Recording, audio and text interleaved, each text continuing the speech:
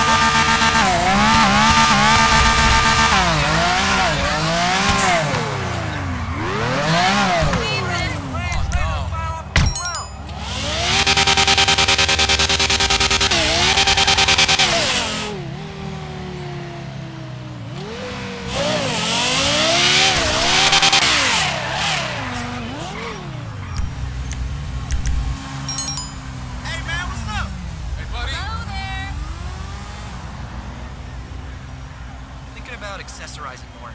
I know what you're saying.